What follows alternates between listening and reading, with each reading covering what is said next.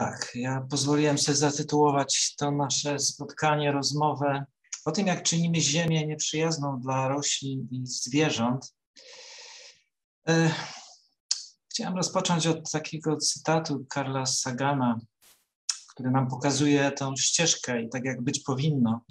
Chcąc, nie chcąc, my ludzie jesteśmy powiązani ze sobą oraz ze wszystkimi roślinami, zwierzętami na całym świecie. Nasze życia łączą się ze sobą.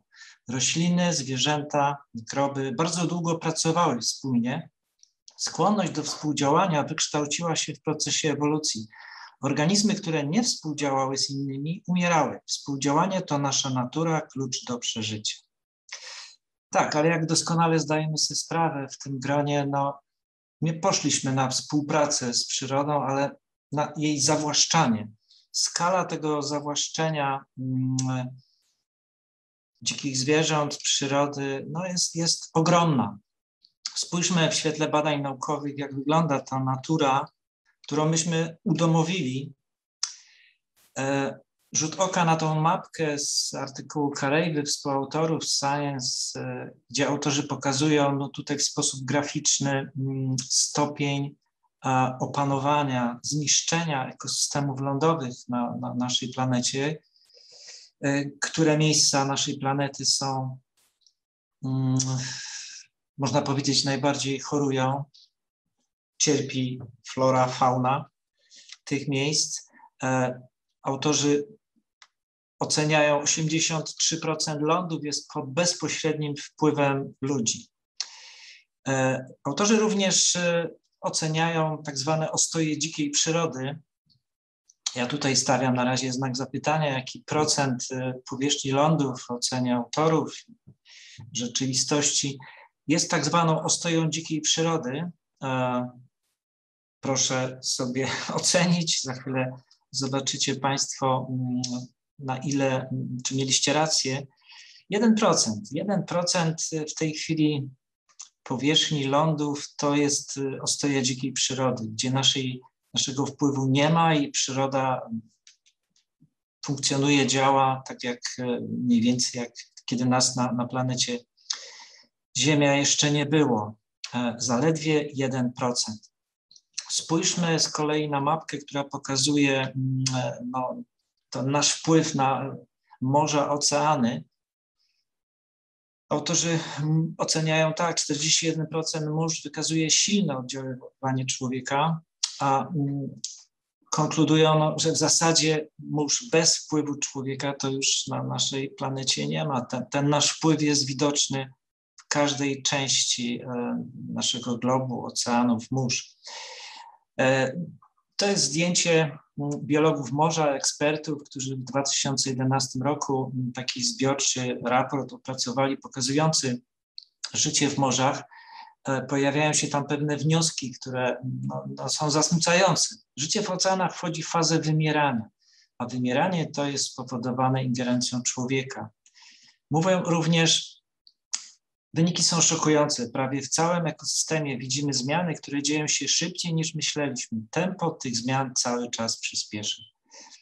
Gdybyśmy mm, jakiekolwiek e, tutaj analizy naukowców wzięli, pan profesor Malinowski też taki przykład podawał, e, przyspieszenia tego tempa zmian i zmian klimatu, w tym wypadku e, utraty bioróżnorodności. Często naukowcy są jakby zaskakiwani tymi e, wnioskami. Narzędzia badawcze są coraz precyzyjniejsze, coraz lepiej potrafimy to ocenić i okazuje się, że, że jest e, to zniszczenie dokonuje się szybciej niż się wcześniej spodziewaliśmy.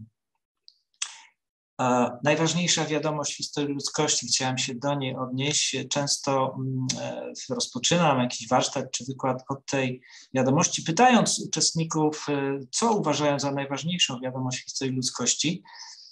E, no, pytam, ponieważ staram się no właśnie ocenić, czy, czy to czy społeczeństwo ma świadomość, co dzieje się na naszej planecie i co tu jest najważniejsze.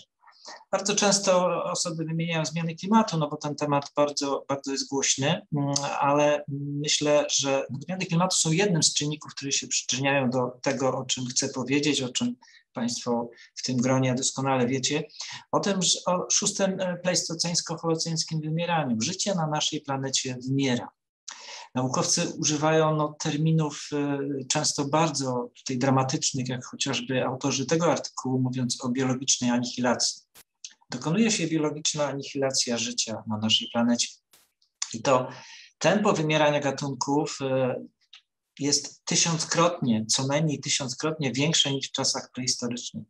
Nasze codzienne działania, wybory, nasz sposób e, funkcjonowania, gospodarowania planetą spowodowały tysiąckrotne przyspieszenie tempa wymierania gatunków. Profesor Mark Williams o tym, e, o tym wymieraniu, o dzisiejszych czasach mówi, zagłada dinozaurów to drobiazg w porównaniu ze zmianami, które dzisiaj fundujemy w biosferze Ziemi.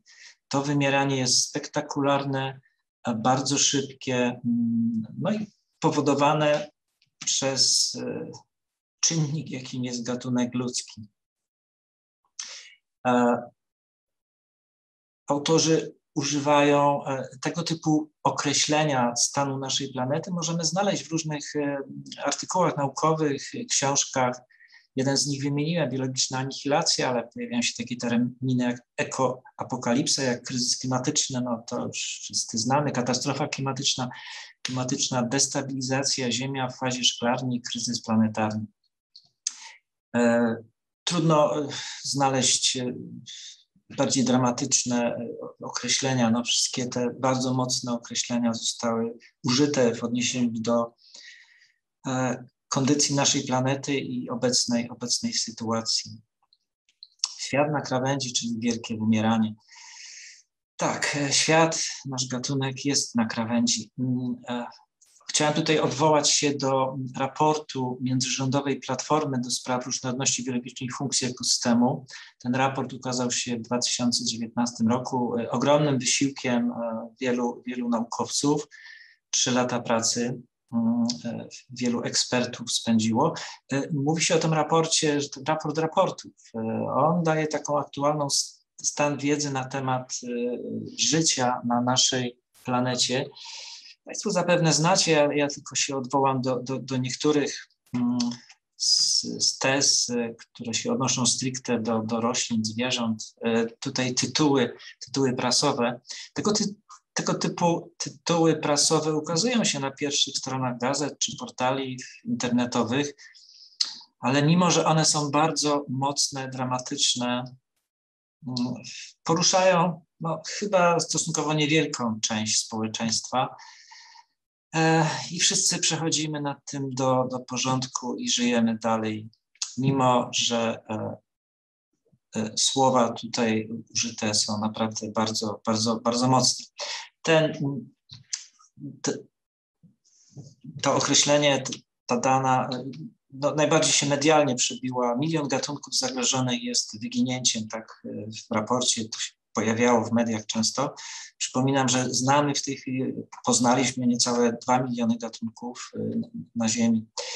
E, w tym raporcie no, pojawiają się wiele różnych danych, które, które pokazuje skalę tego zawłaszczenia, zniszczenia naszej planety, skalę e, utraty bioróżnorodności, skalę cierpienia, jakiej doświadcza e, planeta i istoty ludzkie i istoty pozaludzkie. Trzy czwarte środowiska rodnowego, dwie trzecie środowiska morskiego zostały znacząco zmienione przez działania ludzkie, tak autorzy komentują. Są dane oczywiście o, o deforestacji, o wycince lasów tropikalnych. W tych latach 82 100 milionów hektarów lasu pod y, hodowlę bydła uprawy. Tutaj dla, dla, dla porównania 9,2 miliona hektarów to nasze lasy.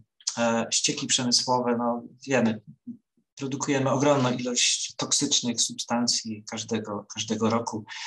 E, ta, te dane tutaj, ta dana dotycząca mokrada już się pojawiła, bo ona jest najbardziej też, też dramatyczna. Utraciliśmy 85% mokradeł, e, niezwykle ważnych e, takich centrów bioróżnorodności. W oceanach powstało 400 stref śmierci, zanieczyszczenie tworzywami sztucznymi, plastikami rośnie wzrosło dziesięciokrotnie od 80 roku. Joseph Settele, współprzewodniczący tej platformy, mówi tak: ekosystemy, gatunki, dzikie populacje, lokalne odmiany i rasy udomowionych roślin, zwierząt kurczą się, podupadają lub zanikają. Niezbędna, wzajemnie połączona sieć życia na Ziemi staje się coraz mniejsza i coraz bardziej postrzępiona. Tak ten nasz świat y, wygląda. No, tutaj gdzieś ktoś zamieścił taki rysunek w mediach społecznościowych mówiąc, co mnie obchodzi wymieranie gatunków, od których zależy nasze życie, bez których nie istniejemy. Istniejemy, żyjemy, jesteśmy, można powiedzieć, szczęśliwi, szczęśliwi jeszcze dzięki wyłącznie tym gatunkom, które spełniają dla nas niezliczoną ilość usług za darmo. Wiele można o tym wymieraniu mówić, różne liczby, fakty przedstawiać. Ja chciałem podać takie trzy najbardziej szokujące fakty dotyczące na razie wymierania zwierząt, które mnie osobiście najbardziej poruszają, e, bo wydaje mi się, że one mają no, rodzaju moc i, i są w stanie może poruszyć serca przynajmniej niektórych. Pozwoliłem sobie wybrać trzy najbardziej takie e, dramatyczne, które chyba dzisiaj się nie pojawiły, chociaż pan profesor Malinowski tam wspomniał, ale, ale, ale nie, nie w takim kontekście, jak ja chcę powiedzieć. E, pierwszy, zwierzęta i nasi przodkowie. Mm, chciałem zwrócić uwagę, mm, kiedy to wymieranie, e, ta utrata bioróżnorodności zaczęła następować. E, czy to się dokonało w czasach współczesnych, czy wiąże się to z naszym gatunkiem od, od zarania? No niestety wiąże się od zarania. To jest mm, mapka z tego artykułu, która pokazuje, jaki procent y, reprezentantów tak zwanej megafauny, ptaków i ssaków, e, wymarły od momentu pojawienia się tam naszego gatunku na jakiejś wyspie czy kontynencie. E, widzimy mm, no jakby procentowo na kółku, widzimy też konkretną liczbę na czarno podaną tych gatunków megafauny, które, które wymarły. Jak widzimy, Ameryka Południowa, Północna, Australia to kontynenty, które doświadczyły no, naprawdę mm, ta skala wymierania była gigantyczna, ponad 80%. Niektóre wyspy, jak, jak Madagaskar, Nowa Zelandia, e, Nowa Gwina, Papua, 100% e, albo, albo prawie 100%. W Ameryce Północnej to jest 73% e, reprezentantów megafauny wymarło, kiedy człowiek tam dotarł, Ameryka Południowa 80%, Australia 86%, Nowa Zelandia wszystkie piękne, mm, duże zwierzęta wymarły. Madagaskar również e, reprezentanci tak zwanej megafauny. E, kiedyś tą planetę na tej planecie żyły no, niesamowite, piękne stworzenia, jak mamut, jak e, ptak dodo, e, krowa morska stelera należąca do syren. E, to szczególnie dramatyczna, smutna historia, ponieważ wystarczyło 27 lat od momentu odkrycia tego gatunku do unicestwienia całkowitego. 27 lat i gatunek przestał istnieć na naszej planecie. E, nosorożec włochaty, tygrys szablozęby, gatunki, które odeszły za naszą sprawą. E, ta fauna, megafauna mm, no, jest nieporównywalnie, to były większe, piękniejsze gatunki niż odpowiadające im gatunki dzisiaj, znacznie mniejszych rozmiarów, tutaj niedźwiedź. E, tutaj wombat. Tak kiedyś ta nasza planeta wyglądała, takie gatunki żyły na niej. Tutaj drapieżnik. E, tutaj leniwiec. I jeszcze jeden z reprezentantów ptaków, e, To był jeden przykład. Drugi, no chyba doskonale Państwu znane, ale myślę, że warto e, to przywoływać, przywoływać, e, pisać o tym. Mm, dzikie zwierzęta i zwierzęta hodowlane. E, na razie odwołuję się do badań profesora Wacława Smila, który policzył biomasę kręgowców, dzieląc ją na trzy kategorie. Kręgowce udomo, hodowane, udomowione, głównie krowy, krowy, świnie i ptaki, ludzie i dzikie kręgowce. Zwykle pytam, e, czy zdajemy sobie sprawę, jaki procent e, kręgowców to zwierzęta przez nas hodowane, zjadane. E, ta informacja wydaje mi się troszkę się już upowszechnia, bo, bo, już często osoby jakby zdają sobie sprawę z tej skali. Ja myślę, że w naszym gronie doskonale zdajemy sobie sprawę. 67% to są krowy, świnie, kury, jeszcze parę innych gatunków, ludzie 30% i dzikie kręgowce 3%. I te 3% no jest tutaj najbardziej poruszające, ponieważ no, patrząc z perspektywy biomasy, to można powiedzieć, że dzikich zwierząt, dzikich kręgowców, dzikiej przyrody to już niemal nie ma. Tak e, wygląda ten nasz świat, tak, tak go zmieniliśmy, bioróżnorodność, życie na nim. 10 tysięcy lat temu biomasa ludzi udomowionych zwierząt to było 0,1% masy kręgowców lądowych, dzisiaj to jest 97%. Ta, ta zmiana, jaka się dokonała, w wyniku naszej tutaj ingerencji jest, jest niewyobrażalny. E, odwołuję się jeszcze do e, tego artykułu Barona i współautorów. E, tutaj autorzy policzyli biomasę w ogóle życia, życia na Ziemi. Jak widzimy z lewej strony no, dominują, dominują rośliny, potem bakterie, grzyby, archeowce. Zwierzęta, ich udział jest, jest niewielki, jak widzimy w prawym dolnym roku. Z prawej strony widzimy, że spośród zwierząt to są głównie, głównie stawonogi, ale mamy tutaj również dzikie ssaki, mamy też ludzi, dzikie ssaki i zwierzęta hodowane. Tutaj ten dolny róg widzimy, mały udział jest dzikich ssaków, a, a na nie chciałem zwrócić uwagę. Bo tak, ssaki, jeżeli chodzi o w ogóle biomasę ssaków, to ssaki hodowane 60%, ludzie 36% i dziko żyjące ssaki 4%. Te 3%, 4% przywołuję i, i, często się do nich odnoszę, bo, bo one, no myślę, że osoba wrażliwa, rozumna, no muszą, muszą te, te procenty, ta informacja musi, musi poruszyć.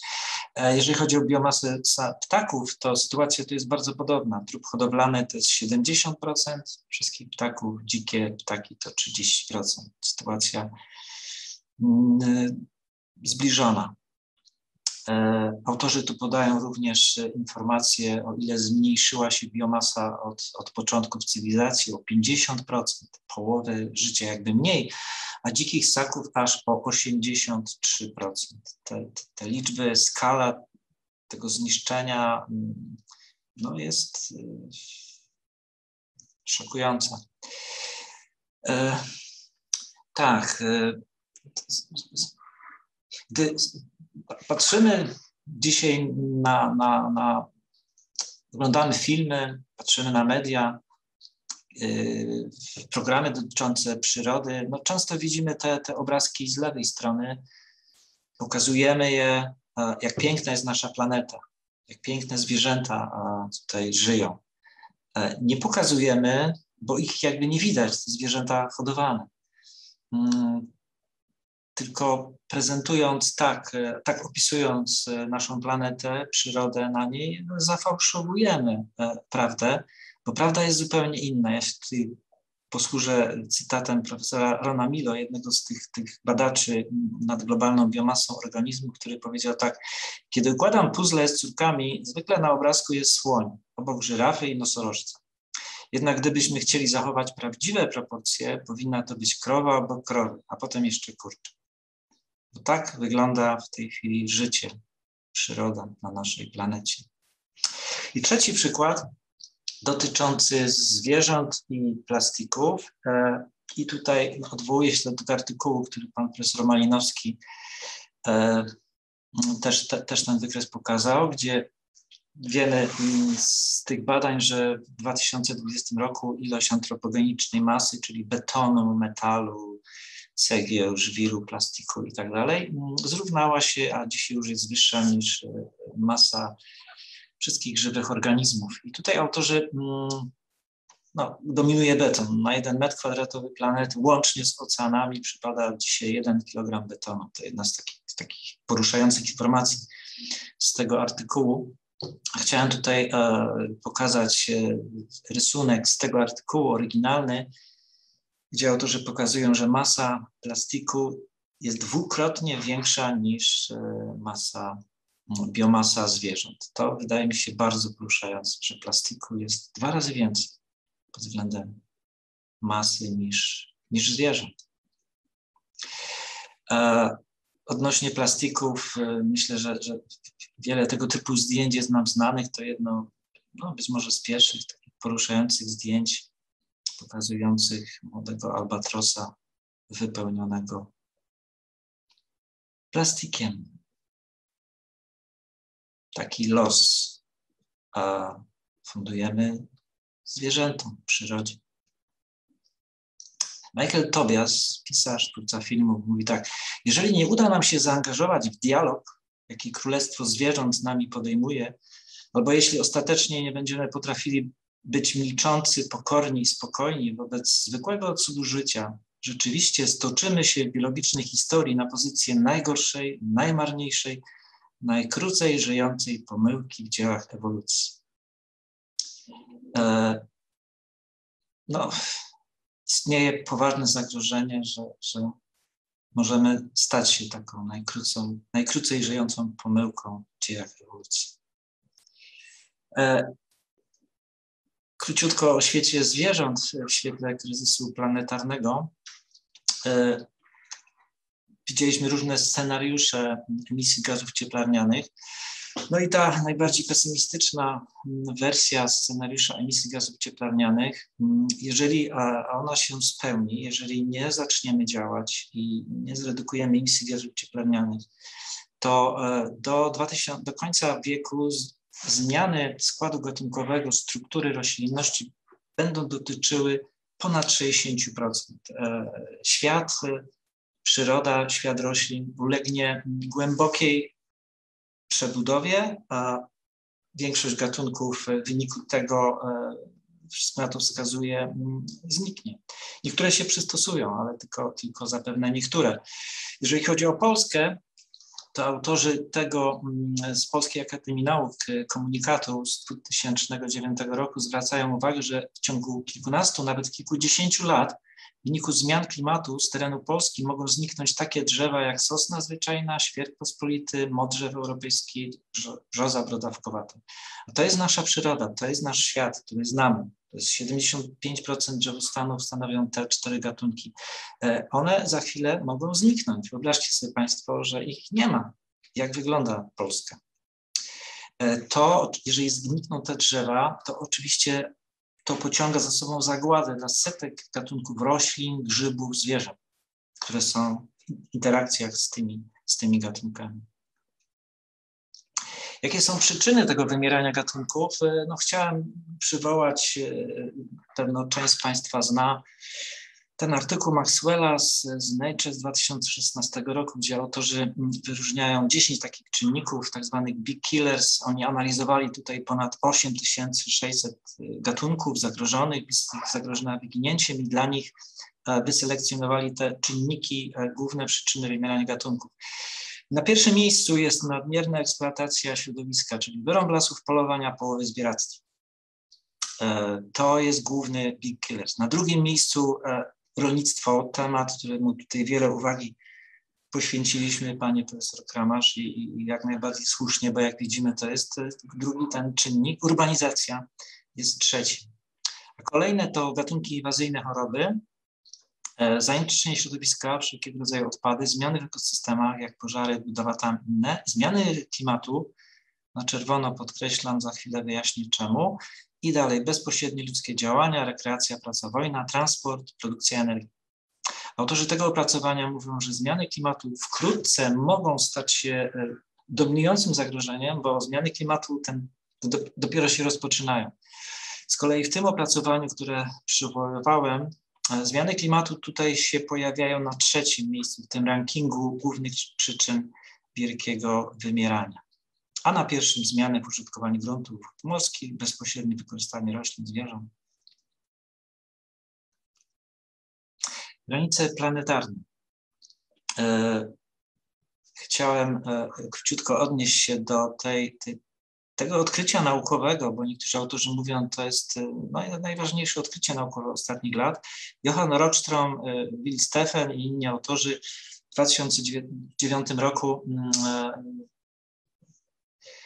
Zaproponowali zestaw dziewięciu takich systemów, czynników kluczowych dla funkcjonowania życia na Ziemi i dla nich wyznaczyli bezpieczne wartości, granice planetarne. Te granice planetarne określają bezpieczną przestrzeń działania dla nas, wyznaczają ramy, w jakich możemy żyć, bezpiecznie żyć.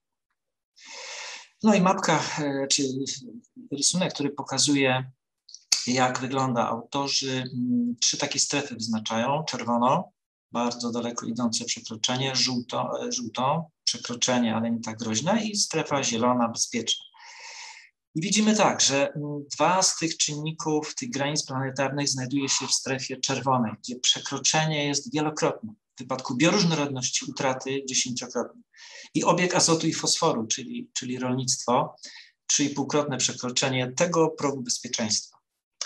Dwie kolejne też przekroczone w strefie żółtej jest to zmiana klimatu i deforestacja. Że wiemy, mm,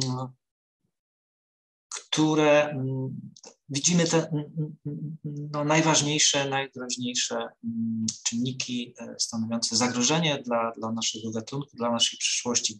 E, trzy są w strefie zielonej, warstwa ozonowa, zakwaszenie oceanów, zasoby wody słodkiej ale zdajemy sobie sprawę, że zakwaszenie oceanów rośnie szybko, zasoby wody słodkiej się kurczą i e, ta sytuacja w zakresie tych granic też jest bardzo groźna. Zanieczyszczenie powietrza, nowe substancje w środowisku, znak zapytania, autorzy no nie zdołali wyznaczyć tej granicy, natomiast na pewno nie jest to e, tutaj system bezpieczny, bo wiemy, jak wygląda powietrze, wiemy, ile 100 tysięcy 100 tysięcy uwolniliśmy substancji różnych obcych do, do środowiska. E, o tym granicach planetarnych, o tej bezpiecznej strefie dla, mm, dla nas, dla ludzkości, no pięknie opowiada ten, ten film e, Dawida Attenborough, Świat na granicy na Netflixie. Polecam Państwu. E, mnie osobiście szczególnie poruszyły dwie sceny z tego filmu, kiedy jeden z naukowców opowiada o wielkiej rafie koralowej, którą bada i kiedy pokazuje te obrazki, płacze. Podobnie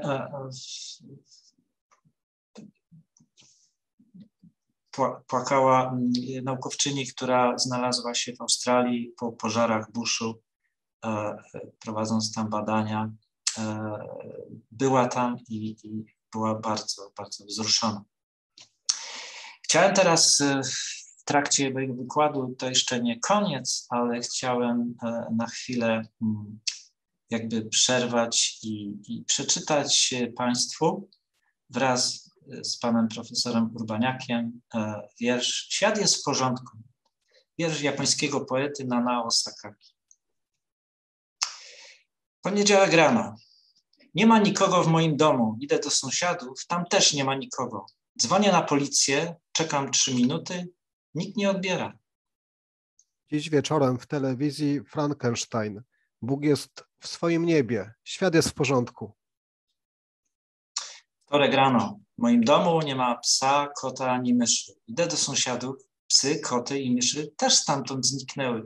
Dzwonię do weterynarza. Czekam trzy minuty. Nikt nie odbiera. Dziś wieczorem w telewizji Charlie Chaplin. Bóg jest w swoim niebie. Świat jest w porządku. Pada rano, koło mojego domu nie ma ptaków ani ryb. Idę do sąsiadów, tam też nie ma ptaków ani ryb. Dzwonię do ogrodu zoologicznego, czekam trzy minuty, nikt nie odbiera. Dziś w telewizji, w tele, y, wieczorem w telewizji Marilyn Monroe. Bóg jest w swoim niebie, świat jest w porządku. Czwartek rano, nie ma kwiatów, drzew ani żadnych roślin. Dzwonię do Związku Ochrony Przyrody, czekam trzy minuty, nikt nie odbiera.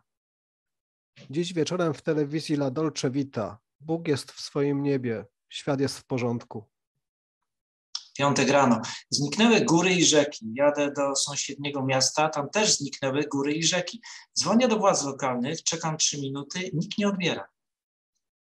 Dziś wieczorem w telewizji Gwiezdne Wojny. Bóg jest w swoim niebie, świat jest w porządku. Sobota rano. Nasza planeta, Matka Ziemia, nagle zniknęła. Dzwonię do swojego psychiatry, czekam trzy minuty, nikt nie odbiera. Dziś wieczorem w telewizji Szogun. Bóg jest w swoim niebie, świat jest w porządku. Niedziela rano. Bóg zszedł do kościoła, mówi dzień dobry. Nikt nie odpowiada.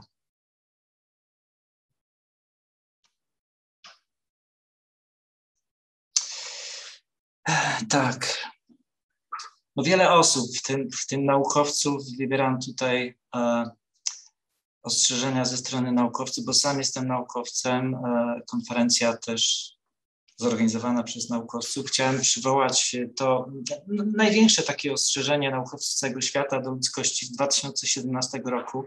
World Science Warning to Humanity, a second notice, bo pamiętamy w 1992 roku było pierwsze, e, podpisane przez ponad 15 tysięcy naukowców praktycznie z całego świata, e, gdzie, gdzie autorzy prezentują taką analizę. Oni tutaj bardzo sprytnie porównują tą sytuację z, z pierwszego ostrzeżenia, 92 rok i e, aktualny 2017.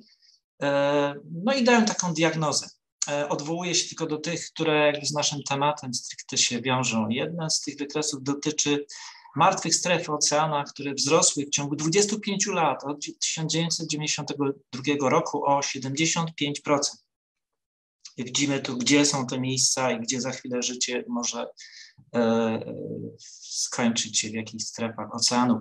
E, lasy, spadek w ciągu 25 lat 2,8%, a 129 milionów hektarów lasów, powierzchnia Republiki Południowej Afryki, która jest uboższa nasza Ziemia od pierwszego ostrzeżenia naukowców do drugiego.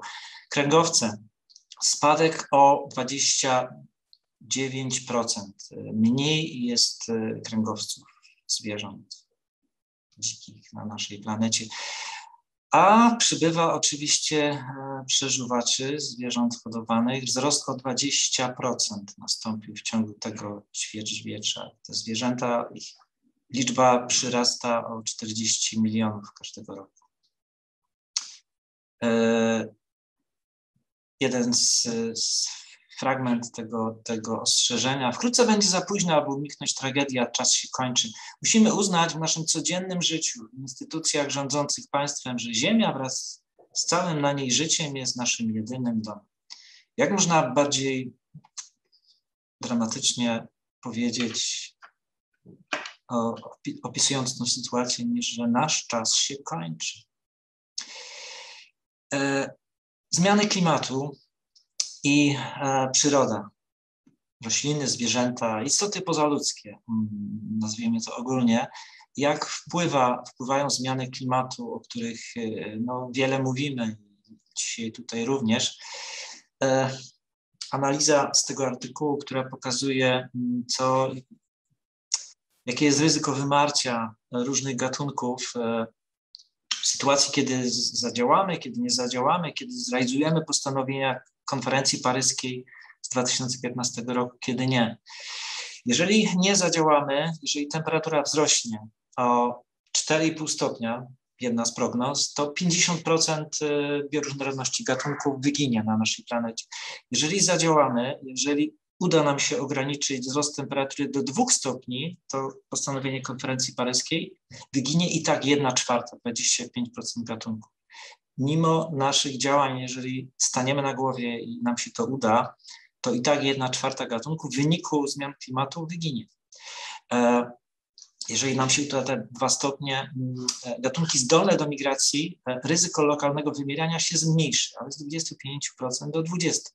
Gatunki niezdolne do, do szybkiej migracji i tak wyginą. Takie są prognozy odnośnie różnorodności i jej wpływu i wpływu zmian klimatu na Zmiany klimatu oczywiście oznaczają no, ogromną tragedię. Wiemy, na czym polegają. Tutaj przykład powodzi My często zwracamy uwagę na, na, na los ludzi i oczywiście słusznie w pierwszym rzędzie ratujemy ludzi, ale zwierzęta, przyroda jest w znacznie gorszej sytuacji niż, niż my. No my staramy sobie pomóc wzajemnie, a często już brakuje nam czasu, środków na, na pomoc y, zwierzętom chociażby. Inny objaw to były powodzie, tutaj mamy suszę, brak wody. Wiemy, że tym skutkują zmiany klimatu, ekstremalne zjawiska pogodowe, wichury, huragany. W takiej sytuacji znajdują się zwierzęta, przyroda, pożary, no, napatrzyliśmy się chyba na tego typu zdjęcia, bo, bo, bo no, płonie w różnych miejscach nasza planeta i tych pożarów jest coraz więcej i więcej. E, tego typu dramatyczne zdjęcia no, przybijają się w mediach i docierają do nas. E, koala, Australia, nie tak dawno. E, no, z kolei Arktyka, która trzy razy szybciej ociepla się niż reszta świata. E, tamte zmiany są najszybsze, najbardziej dramatyczne i symbol tych, tych zmian niedźwiedź polarny. E, chyba patrzę, patrzę na, na, na zegarek, może jeszcze chwilkę mam czasu. E, nie wiem tylko, czy, czy mi się uda ten filmik uruchomić. Podajmy próbę, dobrze, panie profesorze? Oczywiście, proszę, proszę. Tylko proszę powiedzieć, czy, czy jest głos, czy, czy państwo słyszycie?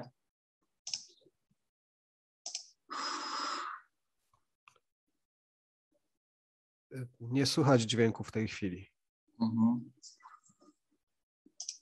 No, czyli chyba musimy zrezygnować, bo nie zdążyliśmy tego sprawdzić, ale to jakaś musi być tam przyczyna tego. E, czemu głosu nie słychać? E,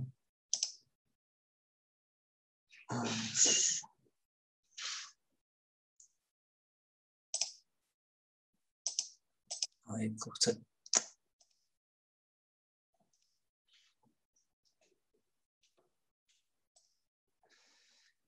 No, po, polecam Państwu, być może część z Państwa widzieli, widzieliście to wystąpienie dinozaura, e, który mm, występuje na szczycie klimatycznym na konferencji ONZ.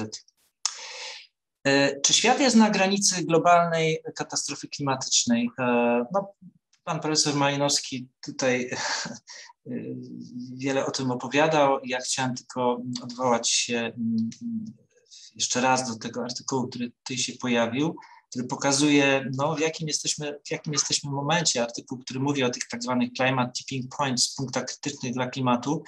E, one zostały zaprezentowane w 2008 roku, e, jeżeli dobrze pamiętam. W 2019 roku 9 z 13 punktów krytycznych dla klimatu zostało uruchomione. Autorzy e, zwracają uwagę, że tych 9 punktów krytycznych dla klimatu się uaktywniło.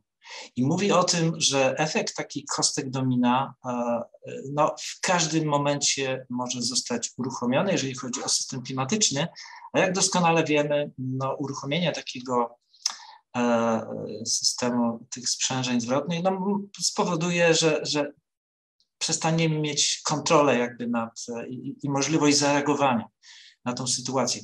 A jak wygląda przyroda? Czy, czy, czy tutaj taki podobny mechanizm y, może zadziałać y, i, i czy jesteśmy na granicy, jak, jak niewiele nam brakuje. E, odwołuję się do tego opracowania z ubiegłego roku, gdzie autorzy przeanalizowali 30 tysięcy gatunków morskich lądowych. Dla nich opracowali roczne prognozy temperatury opadów od 1850 do 2100. No i starali się ocenić, y, w którym momencie mm, te gatunki znajdą się poza strefą komfortu warunkach, w których nie będą w stanie egzystować. I zdaniem autorów do 2030 roku może dojść do nagłego załamania funkcjonowania ekosystemu w tropikach, który do 2050 będzie pojawiał się na wyższych szerokościach geograficznych. E, takie są prognozy odnośnie mm, e, przyrody, która może się nam tutaj za chwilę rozsypać jak domek z kart. 2030 do 2050 w pozostałych częściach świata. Autorzy mówią, że taki właśnie scenariusz, w którym ekosystemy padają jak kostki domina, jest realny. To, to jest e, opinia z tego świata. E, kończąc to, to moje, mm, moje wystąpienie i, i refleksję, rozmowę z Państwem, chciałem mm, pożegnać się takim Zobaczycie Państwo zdjęcia zwierząt. Z lewej strony zobaczycie Państwo e, ostre zdjęcia, z prawej strony zdjęcia tych zwierząt, e, z tylu pikseli, ile gatunków jeszcze e, istnieje, żyje na naszej planecie. Odchodzący świat. Słoń indyjski 20-25 tysięcy osobników. Szympans karłowaty, bonobo 10-50 tysięcy. Płetwal błękitny 10-25 tysięcy. Wschodni goryl nizimny 17 tysięcy. Nosorożec czarny 5 tysięcy. Bikaon 3 do 5,5 tysiąca. Żółw zielony 3 do 5,5 tysiąca. Tygrys bengalski 2,5 tysiąca. Bornański słoń karłowaty 1500. Tygrys indochiński 600-650. Tygrys syberyjski 450. Lampart amurski 60. Nosorożec jawajski 60. Kiedy czas świata Noego, podobnie jak i nasz dzisiaj, dobiegał końca, miał on, tak jak i my, listę zwierząt. Przedstawiamy go, jak stoi przy wejściu na arkę i wywołuje ich imiona, wykreślając po kolei. My też teraz je wykreślamy. Dzięcioł trójpalczasty, pelikan, ryś hiszpański, gęś kanadyjska, zebra. Dziś ponownie ożywa dramat Noego, ale film jakby biegnie do tyłu. Zwierzęta znikają. Fredka, kulik, kuguar, wilk. Bardzo Państwu dziękuję za mm, spotkanie, za możliwość e, organizatorom za zaproszenie przede wszystkim.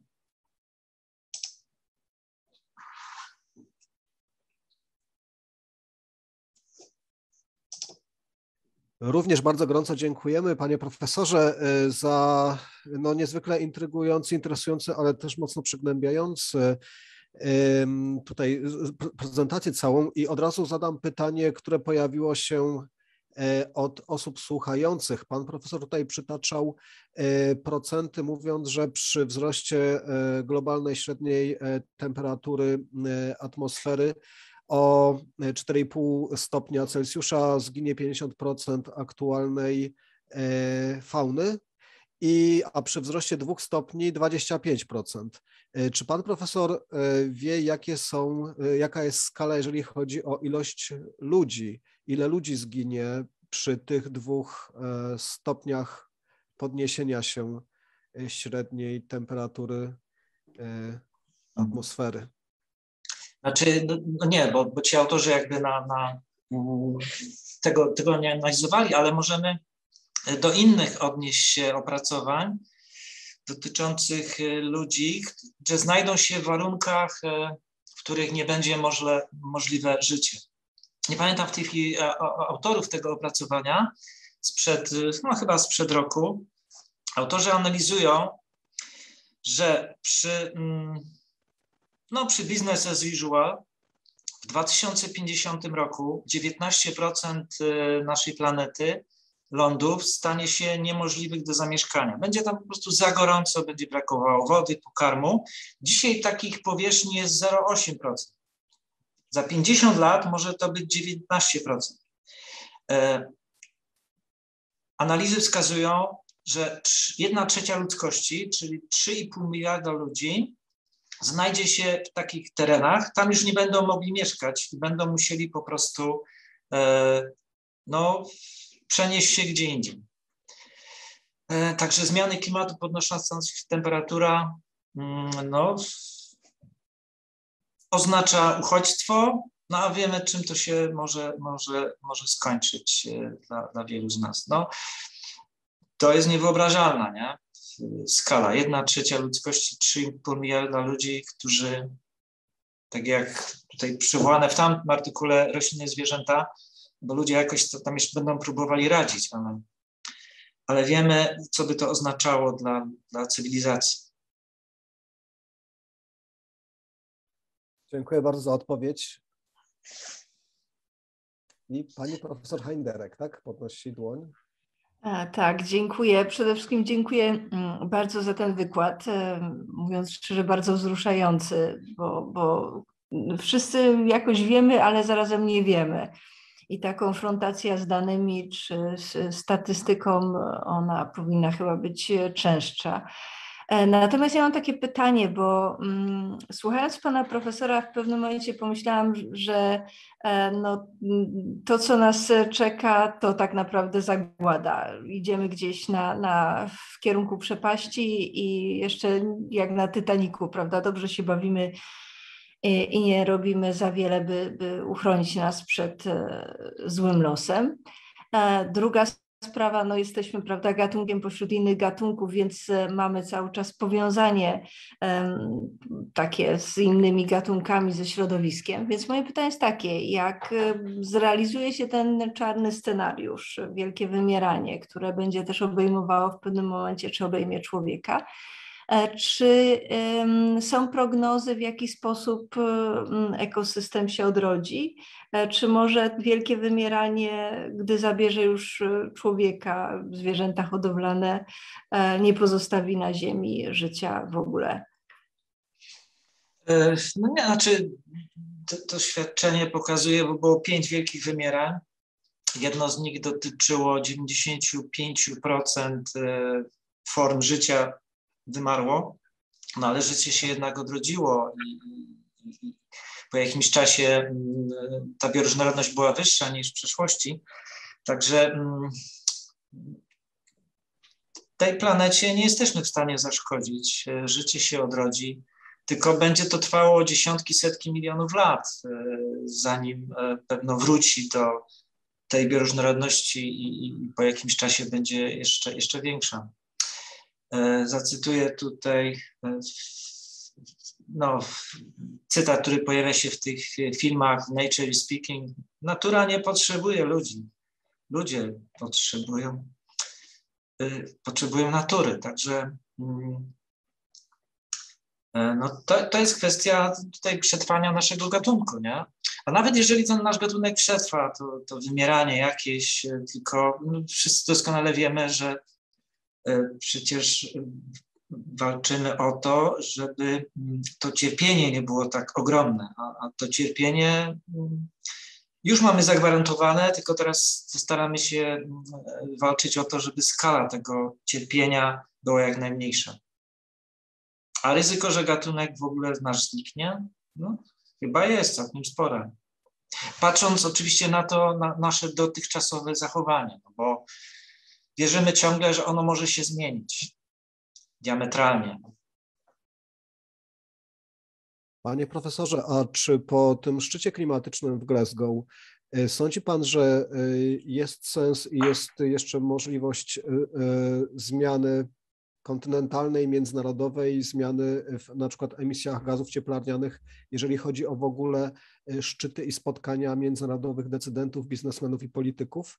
Y, jeżeli ta formuła szczytu, dwa, y, szczytów klimatycznych się wyczerpała, to czy w ogóle jakieś kolejne szczyty niekoniecznie w tej samej formule, ale są konieczne, potrzebne, albo czy być może inny, na przykład szczyt G20 Y, przejąłby w jakiś sposób, chociaż on dotyczy finansów przede wszystkim, y, przejąłby tą rolę y, budowania nowych umów, ratyfikacji, uzgodnień dotyczących działań, które bezpośrednio albo chociaż pośrednio wyhamują degradację bioróżnorodności?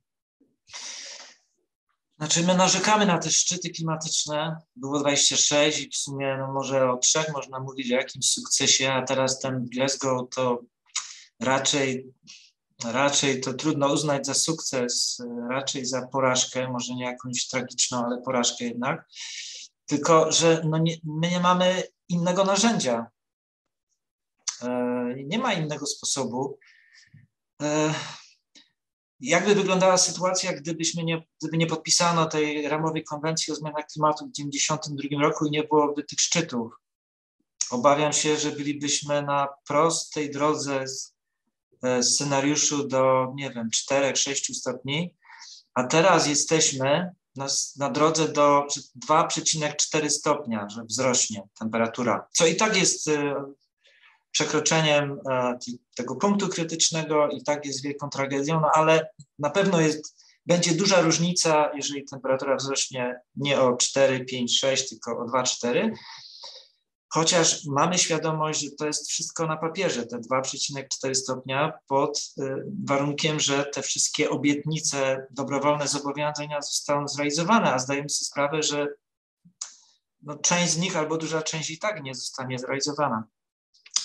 No ale lepsze to niż nic, no bo mogłoby być nic, prawda? E, no chociaż... tak, chociaż mówi się, że nie z tym, y, takim y, wadą jest to, że najwięksi emitenci tam w ogóle się nie pojawiają, bo nie są y, uczestnikami szczytu. Tak, tak. No ja szukam jakichś, jakichś pozytywów. E, no ale zdajemy sobie sprawę, że czy te dobrowolne zobowiązania zostają, zostaną e, wypełnione, jesteśmy pełni obaw, a wiemy, że one to i tak jest za mało, żeby powstrzymać zmiany klimatu, powstrzymać wymieranie. E, no ale moglibyśmy sobie wyobrazić, e, że, że, że nie było, że nie ma żadnych szczytów i, i, i idziemy szybkim kursem na wymarcie w, szybszym czasie niż, niż obecnie. Teraz jeszcze w nas nadzieja się tkwi, jeszcze ewentualnie podjęte działania mogą ograniczyć skalę wymierania i naszego cierpienia. No i trzymajmy się tego, no, bo może jakieś, może jeszcze sami siebie zaskoczymy.